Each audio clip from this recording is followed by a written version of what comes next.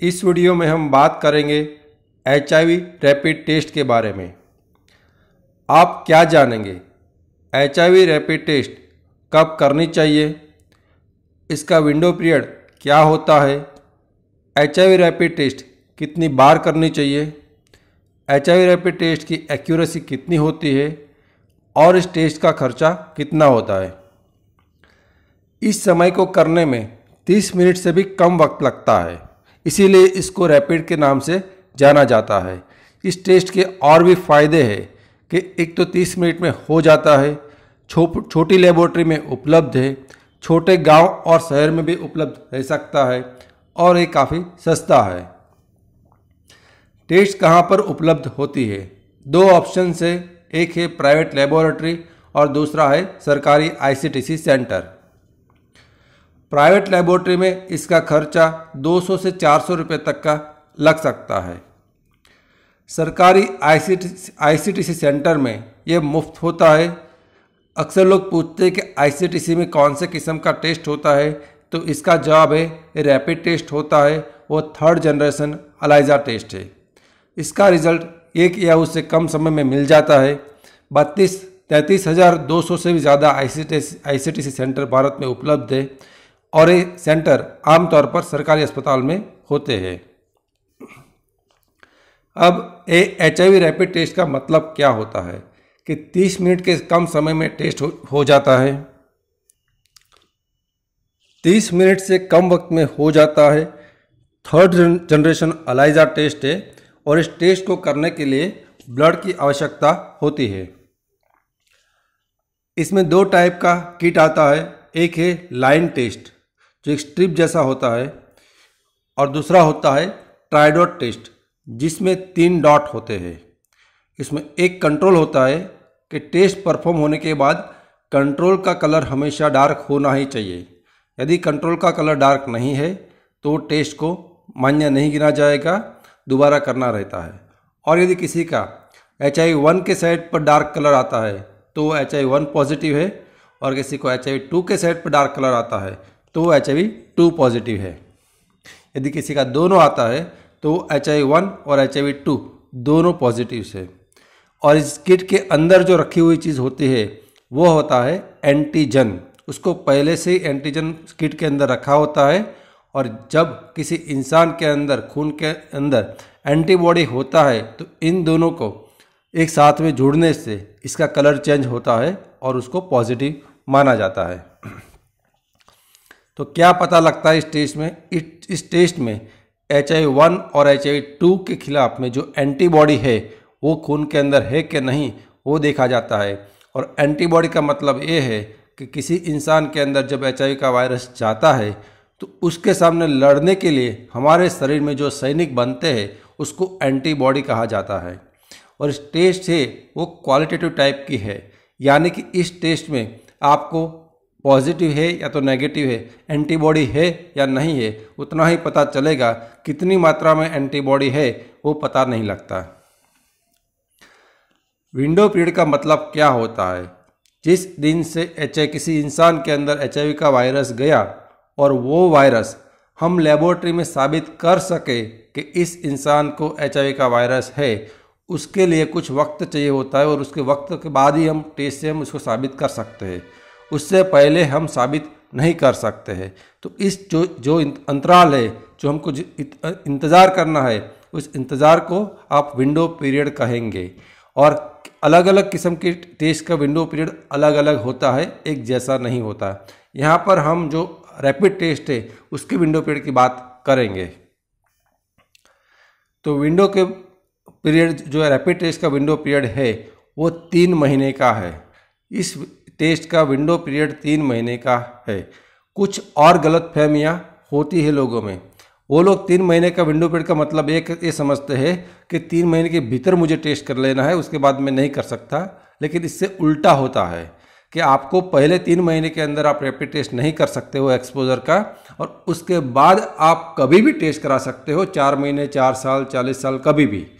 और लोग अक्सर पूछते हैं कि एक्सपोजर का तीन साल हो गया है तो विंडो इसके रैपिड टेस्ट काम करेगी कि नहीं करेगी? हाँ करेगी। आप तीन महीने के बाद इस टेस्ट को कभी भी करा सकते हो, चाहे कितना भी समय गया हो। और दूसरा है कि लोग पूछते हैं कि विंडो पीरियड सालों तक होता है, इसलिए क्या हमें बार बार टेस्ट कराने की ज़रूरत हो? तो ये बात भी गलत है। विंडो पीरियड तीन महीने से ज़्यादा नहीं होता है।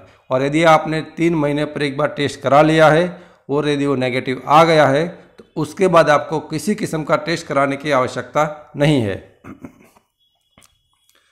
तो इसी रैपिड टेस्ट आपको कब करा सकते हो? तो विंडो पीरियड तीन महीने है। इसका मतलब है कि रैपिड टेस्ट आप तीन महीने के बाद कभी भी करा सकते हो। अब पॉजिटिव या तो रिएक्टिव का क्या मतलब होता है? यदि किसी का टेस्ट का रिपोर्ट में पॉजिटिव या तो रिएक्टिव लिखा हुआ आता है तो इसका मतलब ये है कि उसके खून के अंदर एचआईवी के सामने लड़ने वाले एंटीबॉडी हाजिर है और इसके लिए उसको एचआईवी का बीमारी है। और नेगेटिव या तो नॉन रिएक्टिव आता है तो इसका क्या मतलब है? तो इसका मतलब ये है कि खून में पर्याप्त मात्रा में एंटीबॉडी नहीं है, या तो बिल्कुल एंटीबॉडी नहीं है। इसीलिए, और यदि वो टेस्ट उसने तीन महीने के बाद कराया है तो ये कन्फर्म हो जाता है कि उस इंसान को एक्सपोजर उस एक्सपोजर से एचआईवी नहीं हुआ है। कभी कभार रिज़ल्ट में इंडिटर्मिनेट इक्विकोकल या तो इनवैलिड लिखा हुआ आता है। तो इसका मतलब ये होता है कि जो भी टेस्ट हुआ है, उसमें कई प्रॉब्लम है, ना तो वो पॉजिटिव है, ना तो वो नेगेटिव है। तो आपको फिर से रैपिड टेस्ट कुछ समय बाद कराना है, या तो इससे हायर टेस्ट यानी कि एच आई या तो पी वाला टेस्ट आपको अभी कराना है स्टेटस को कंफर्म करने के लिए।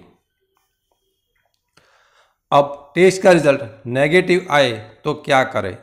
यदि आपने आपका रैपिड टेस्ट एक्सपोजर से तीन आखिरी जो एक्सपोजर है, उसे तीन महीने के बाद कराया है तो आपको आगे कोई टेस्ट कराने की ज़रूरत नहीं है, आपका ये रिपोर्ट फाइनल माना जाएगा। और यदि आपने एक्सपोजर से तीन महीने के भीतर ही ये रिपोर्ट करा लिया है तो आपको यह रिपोर्ट दोबारा कराना रहेगा। और वो रिपोर्ट आपको दोबारा कब कराना है कि जब आपका एक्सपोजर का तीन महीने का समय हो जाए, तब आपको दोबारा रिपोर्ट एक कराना रहेगा और वो नेगेटिव आने पर उसके बाद आपको कोई रिपोर्ट नहीं कराना है। अब पॉजिटिव आए तो क्या करें? तो आपको दूसरे किस्म की दो और रैपिड टेस्ट जो दूसरे प्रिंसिपल से हो या तो दूसरी कंपनी से हो, दूसरी लेबोरेटरी से हो, वो दो और रैपिड टेस्ट कराना है और तीनों रैपिड टेस्ट नेगेटिव पॉजिटिव आए, तब आप कंफर्म माना जाओगे कि किसी इंसान को एचआईवी पॉजिटिव है।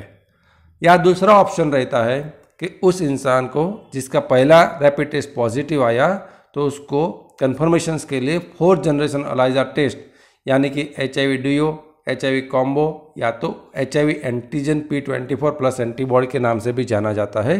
वो टेस्ट कराना रहेगा। अक्सर लोग पूछते हैं कि सर मैंने तीन महीने पे रेपिड टेस्ट कराया था, अब नेगेटिव आ गया है तो मुझे वापस कराने की ज़रूरत है या नहीं? तो इसका सीधा जवाब है नो नहीं, ना।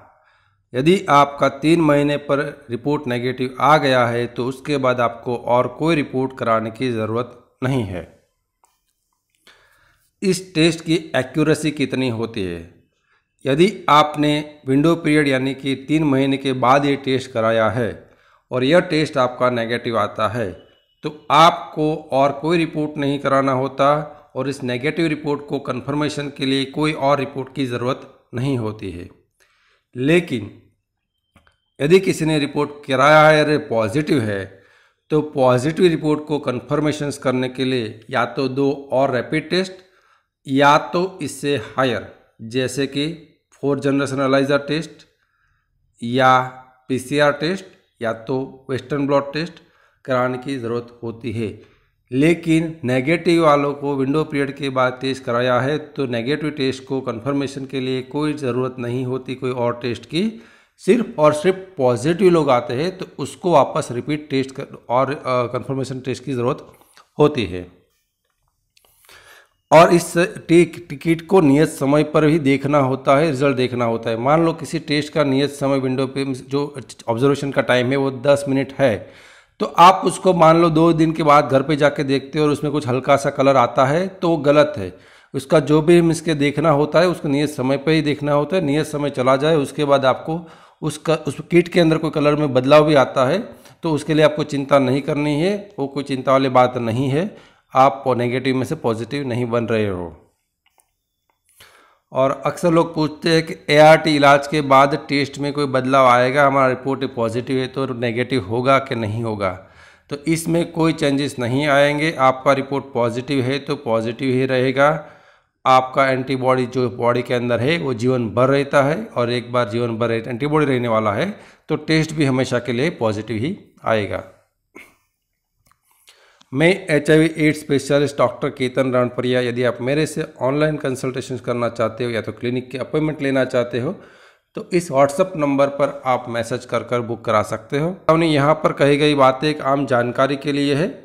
समय के साथ विज्ञान बदल सकता है। किसी भी जानकारी को अपने जीवन में लागू करने से पहले H I AIDS specialist doctor से व्यक्तिगत रूप से राय लेना अत्यंत आवश्यक है। Thank you.